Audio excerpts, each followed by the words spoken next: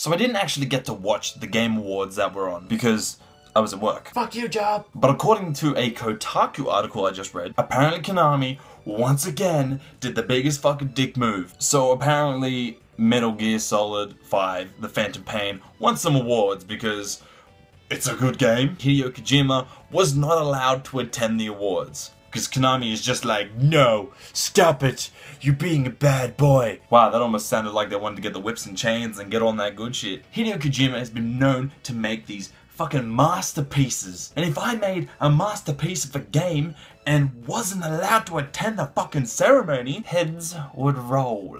It's like Konami wants us to hate them. How dare you do a good job, Hideo Kojima? How dare we invest a lot of money into you to make us a lot of money back? Good job, stay at home. Why would you deny somebody the right to celebrate something he created? And not just for him, for everybody else that worked on it. Imagine pouring your heart and soul into something, and then you publish publisher just bends you over and takes you to Pound Town. Yeah, good job, buddy. Good fucking work. Because that's what they did. They fucked him. Apparently, he's still under employment contract. What the fuck kind of excuse is that? If anything, that should work in his favor. He left or went on vacation, but because he's still under contract, shouldn't he be able to go and accept an award? It's not like he said anything bad about Konami. This this whole situation just upsets me. I just want Kojima to be happy. He seems like a nice enough fellow, and he makes them darn good games. So, do you want to rip Konami's fucking throat out? Because I do.